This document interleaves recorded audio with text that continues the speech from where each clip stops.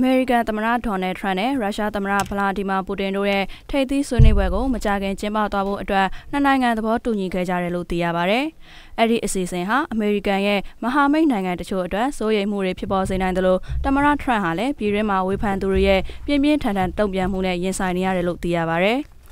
ရုရှားသမ္မတပူတင်နဲ့အမေရိကန်အမျိုးသားလုံခြုံရေးကြံပေးပုဂ္ဂိုလ်ဂျွန်ဘိုတန်တို့ကရင်မလင်နန်းတော်မှာတွေ့ဆုံခဲ့ပြီးနောက်ရုရှားအစိုးရရဲ့နိုင်ငံခြားရေးမူဝါဒလက်ထောက်တဦးဖြစ်သူယူရီရူရှာကော့ဖ်ကရုရှားအမေရိကန်ထိပ်သီးဆွေးနွေးပွဲကိုနှစ်နိုင်ငံလုံးအတွက်အဆင်ပြေမဲ့ကြားခံနိုင်ငံတစ်ခုမှကျင်းပသွားမှာဖြစ်ကြောင်းနဲ့အဲ့ဒီဆွေးနွေးပွဲအတွက်ပြင်ဆင်ဖို့နောက်ထပ်သတင်းပတ်အနေငယ်ကြားမရောက်မှာဖြစ်တယ်လို့ပြောကြားခဲ့ပါတယ်။အမေရိကန်နဲ့ရုရှားနိုင်ငံတို့ဟာဇွန်လ28ရက်နေ့မှာနှစ်နိုင်ငံထိပ်သီးဆွေးနွေးပွဲကျင်းပမယ့်နေ့ရက်နဲ့အချိန်ကိုကြေညာသွားမှာဖြစ်တယ်လို့သိရပါတယ်။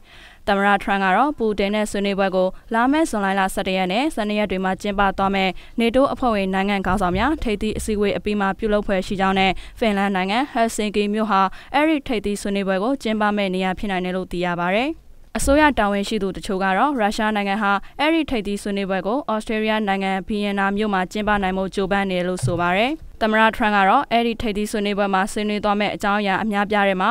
ဆီးရီးယားနဲ့ယူကရိန်းအရေးတို့ကိုထည့်သွင်းထားပေမဲ့လာမယ့်နိုဝင်ဘာလမှာပြုလုပ်သွားမယ့်အမေရိကန်ကွန်ရက်ရွေးကောက်ပွဲမှာရုရှားနိုင်ငံကဝင်ရောက်ဆွတ်ဖက်ဖို့ကြိုးပမ်းသွားနိုင်တဲ့ဆိုတဲ့အမေရိကန်ထောက်လှမ်းရေးအရာရှိတွေရဲ့တတိပေးချက်ကိုတော့ထည့်သွင်းဆွေးနွေးသွားမှာမဟုတ်ဘူးလို့သိရပါဗျ။ထရန့်နဲ့ပူတင်တို့ဟာပြီးခဲ့တဲ့နှစ်နိုဝင်ဘာလကဗီယက်နမ်နိုင်ငံမှာကျင်းပခဲ့တဲ့အာရှပစိဖိတ်နိုင်ငံများထိပ်သီးအစည်းအဝေးရဲ့ဘေးဆွယ်အစည်းအဝေးတစ်ခုမှလည်းတွေ့ဆုံခဲ့မှုတယ်လို့သိရပါဗျ။ အဲ့ဒီတွေ့ဆုံမှုမှာတော့2016ခုနှစ်အမေရိကန်သမ္မတရွေးကောက်ပွဲမှာရုရှားနိုင်ငံကဝင်ရောက်ဆွပတ်ခဲ့တဲ့ဆိုတဲ့ဆွဆွဲမှုအပေါ်သမ္မတပူတင်ရဲ့ညှင်းဆန်မှုကိုလက်ခံယုံကြည်ကြောင်းပြောဆိုခဲ့ပါတယ်။အဲ့ဒီထိပ်သီးဆွေးနွေးပွဲမတိုင်ခင်မှာရုရှားနိုင်ငံခြားရေးဝန်ကြီးဆာဂေးလက်ဗရော့နဲ့အမေရိကန်နိုင်ငံခြားရေးဝန်ကြီးမိုက်ပွန်ပေရွန်တို့အကြိုတွေ့ဆုံတော့ပဲရှိနေတယ်လို့သိရပါဗျ။ ထရန့်ပူတင်ထိပ်သီးဆွေးနွေးပွဲဟာပြည်တိုင်အပါအဝင်အမေရိကန်ရဲ့မဟာမိတ်နိုင်ငံအချို့ကိုအမျက်ဒေါသထွက်စေနိုင်တယ်လို့လည်းသိရပါဗျ။ဒီမိုကရက်တစ်စီးနိတ်အမတ်တူဖြစ်သူခရစ်ကွန်ကတော့အမေရိကန်ရုရှားထိပ်သီးဆွေးနွေးပွဲဟာအလုံးစုံအပြုသဘောဆောင်တဲ့ဆွေးနွေးပွဲတစ်ခုဖြစ်လာနိုင်ပါတယ်။ဒါပေမဲ့ပြီးခဲ့တဲ့ G7 ထိပ်သီးဆွေးနွေးပွဲတုန်းကပြုမှုခဲ့တဲ့